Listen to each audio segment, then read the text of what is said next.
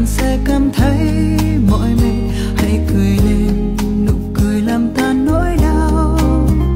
Bạn sẽ thấy được phép nhiệm màu và cách bước qua những niềm đau. Bạn sẽ thấy bản thân mạnh mẽ hơn điều bạn